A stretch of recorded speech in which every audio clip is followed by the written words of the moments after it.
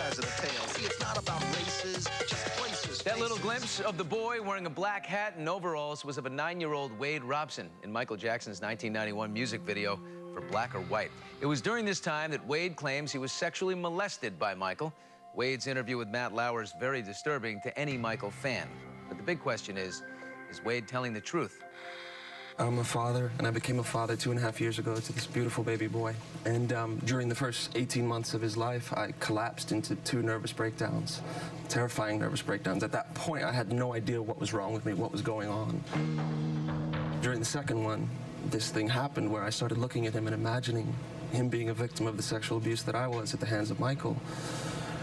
And for the first time in my life, I began to realize that my completely numb and unexplored feelings in relationship to what Michael did to me might be a problem, and maybe I needed to speak to someone about it. Wade told Matt he's kept these feelings hidden for the last 20 years, denying Michael ever did anything inappropriate to him until now.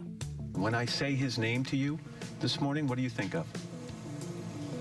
Heartbreak, pain, anger, and compassion.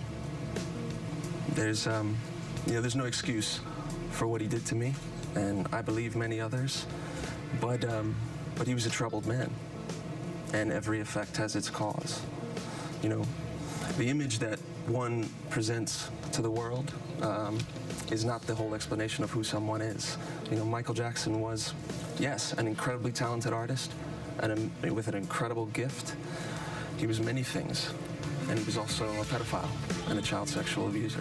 And you could see the sincerity, the emotion when he talks about his nervous breakdowns. But is Robson telling the truth? Body language expert Lillian Glass analyzed his every move. You can see what a toll this interview is taking on him. You can see the sweat breaking out in this area near his nose. His nose is getting shiny, his upper lip is sweating. So again, this is highly emotional for him. When I say his name to you this morning, what do you think of? Heartbreak, pain, anger.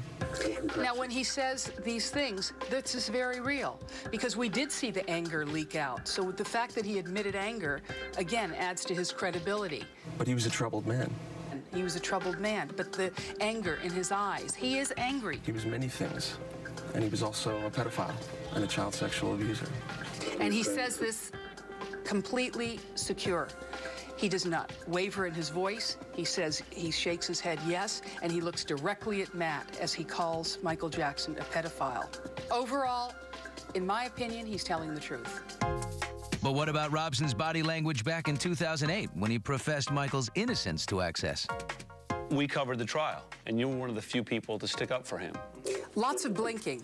A lot of times when a person shows signals of deception, you'll oftentimes see a lot of blinking behavior. And why do you think that was? And why was it important for you to stick up for him? Because he's always been a friend to me. That's what you do for friends. You tell the truth, you know? There's a big difference in 2008 and today. In 2008, we see a lot of signals of deception.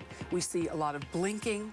We see him shrugging his shoulder. We see his voice die off at the end. And we also hear him say, that's what we do for friends. So in essence, he did his friend a favor. Tomorrow on Access Hollywood, over a decade of Idol, and every year they